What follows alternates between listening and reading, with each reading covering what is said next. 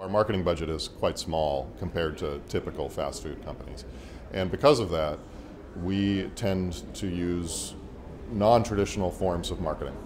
A single US television campaign would take our entire marketing budget for the year.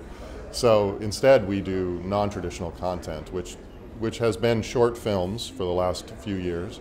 Uh, uh, but now we, we wanted to try to, to say more, to, to raise awareness of, of how food is prepared and raised and, and, and, and why people should want better quality. And we chose uh, a longer format, which is Farmed and Dangerous, which is a, a four 30 minute episodes, to see if we could tell the story uh, in an entertaining way.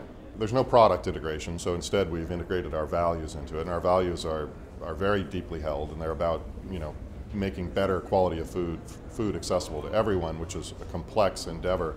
We have to change, you know, the industrial food system, and so, um, you know, that, uh, you know, that allows the show to be pure entertainment in a way because whenever you have the product integration, I think it pulls the audience out of the show, even for a moment, even if it's very subtle, it, it stops them from being involved. And so, you know, we wanted to create entertainment first. The challenge with that, of course, is getting the marketing benefit out of it. And so, whether it'll become the norm or not, I think depends on whether or not companies actually have a story to tell. Do they have values that belong in content?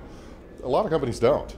I mean, a lot of companies are just simply out to, you know, maximize profit and maximize sales. And, you know, we're a very profitable company, one of the, uh, arguably the most successful restaurant company right now.